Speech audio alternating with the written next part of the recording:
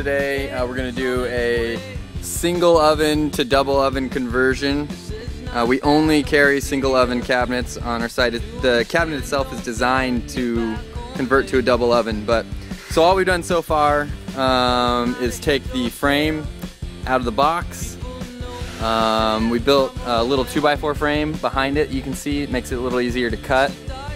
Uh, put it on a sawhorse and then we score the line for our double oven uh, configuration. So you can see it comes down and we're gonna eliminate the top of three drawers. Uh, so the oven will come down to this point and that whole rail here and this little bit of material on the side here and then on up to here is going to get removed and that'll give us the rough opening we need for the oven itself. Uh, we're using a jigsaw a little guide on it. Make sure we cut it straight line. And uh, that should be all there is to it. Uh, and then we'll get get the cabinet assembled from there, build a frame for the oven, and um, take care of it that way. So, um, here we go. Let's do some cutting.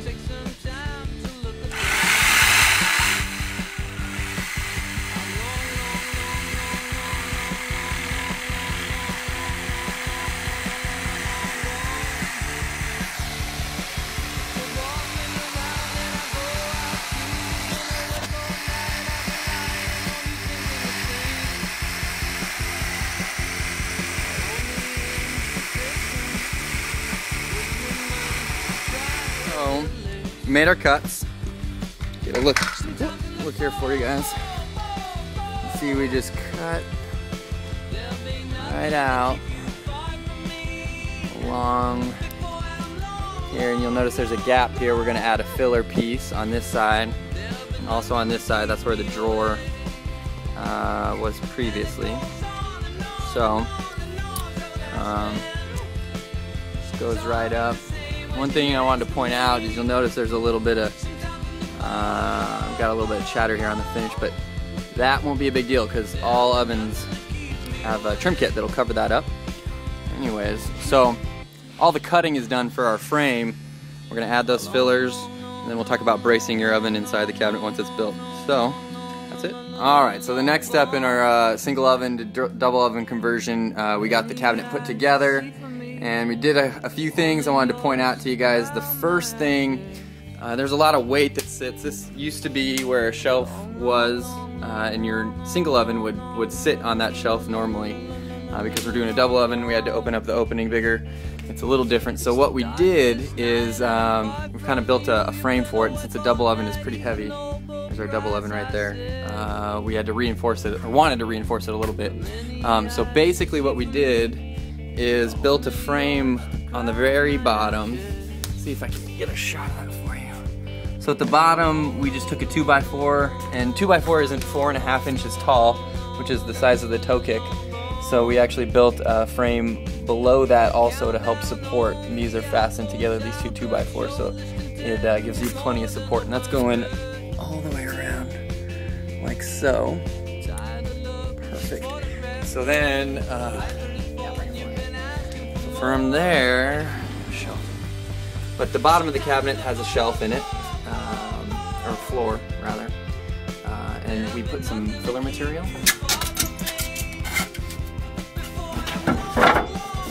can see right there, three quarter inch material is what we used. Uh, you could use anything that'll fit in between there and the hinge, and that rests on the floor of the cabinet itself. Line that the height of that up so that in a 2x4 is placed. Gotta do this the hard way, huh? There we go. So when a 2x4 is placed on top, um, the shelf will sit right on top of that. So you can see there's a half inch gap right there. So basically what was a routed joint, we're just building out of 2x4s to give you some support. Let's see if we can get that shelf in there to show you.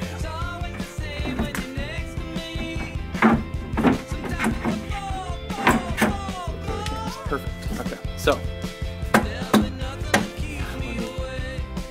knock on it with a mallet a couple times. It'll go nice and flush with the bottom of the frame. So then, uh, next step will just be to put the oven in. Boom. We'll take a shot of that in a second. Okay, so here is the final product of our oven cabinet. Double oven conversion. Toe kick's missing on the bottom still, but kitchen's kind of in disarray anyways, but um, as you can see, works like a charm. Uh, you got two drawers down below. We opted to uh, put a plate rack in the top, make it a little fancier. But um, yeah, if you have any questions, uh, feel free to give us a call. We're always here to help.